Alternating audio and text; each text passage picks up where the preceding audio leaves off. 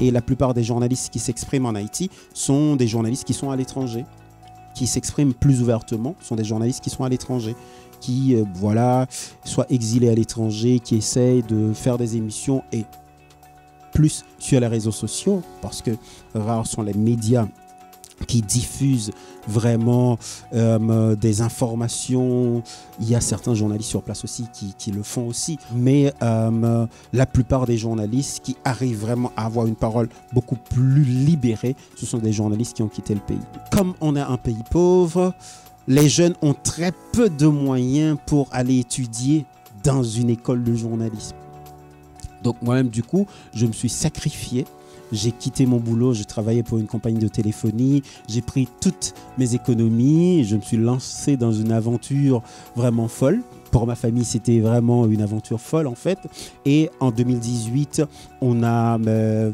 débuté, voilà, et ça a pris corps. C'est donner plus de possibilités à des jeunes qui sont très intelligents, qui rêvent d'autres alternatives, leur donner la possibilité d'étudier le métier et, selon moi-même, plus il y a de journalistes, ça va favoriser, que l'on veuille ou non, malgré tout ce qu'il y a comme problème et tout, ça va favoriser la liberté de la presse, la liberté d'expression en Haïti. On arrive à former euh, une très belle génération, parce qu'on a eu une première génération euh, d'étudiants et euh, qui pour la plupart sont dans les médias actuellement et qui arrivent vraiment à se démarquer dans les médias. Donc euh, ça c'est euh, en quelque sorte une fierté pour moi et l'école aussi. C'est euh, une façon pour moi de, de dire que tout n'est pas fini en Haïti. J'ai eu euh, un proche de ma famille qui faisait de la radio, qui était animateur de radio, qui euh, avait l'habitude de m'emmener à la radio pour voir comment ça se fait. Et c'est là vraiment que euh, et la passion vraiment s'est développée en fait. Et quand j'ai vu pour la première fois en studio quelqu'un parler au micro,